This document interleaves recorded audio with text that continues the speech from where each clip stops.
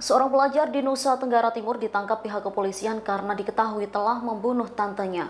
Pembunuhan dipicu lantaran korban menolak untuk berhubungan badan dengan pelaku.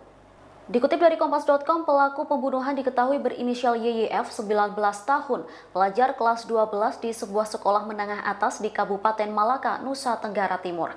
Sedangkan korbannya diketahui berinisial MRL 47 tahun yang tak lain adalah tante korban. Kepala Satreskrim Polres Malaka Ibtu Jamari mengatakan kasus pembunuhan itu terjadi pada Jumat 2 Juli 2021.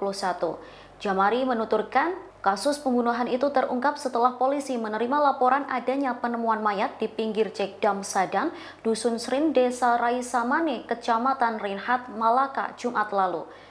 Kejadian itu bermula ketika YYF mendatangi rumah korban sekira pukul 9 waktu Indonesia Tengah.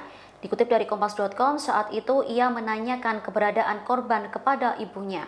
Kemudian sang ibu memberitahunya jika MRL sedang berada di kebun yang jaraknya lebih kurang 1 km dari rumah. Pelaku kemudian menyusul korban ke kebun, namun MRL tak ditemukan. YYF kemudian kembali ke rumah melewati jalan menuju tanggul air.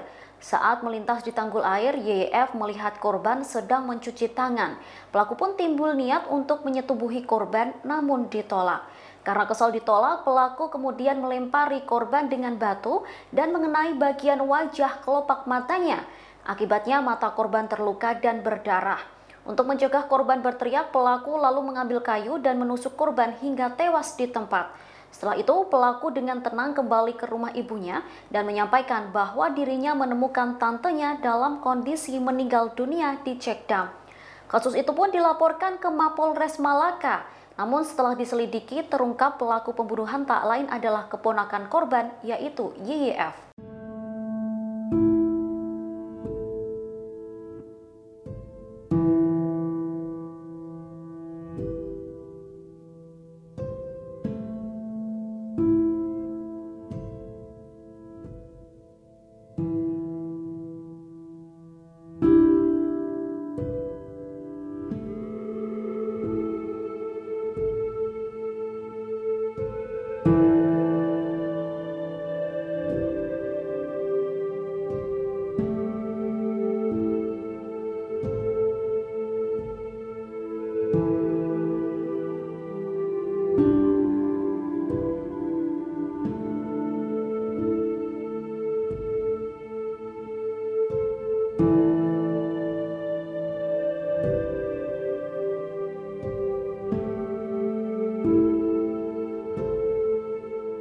Demikian informasi dalam Tribunnews Update kali ini. Nantikan informasi terbaru lainnya hanya di tribunnews.com.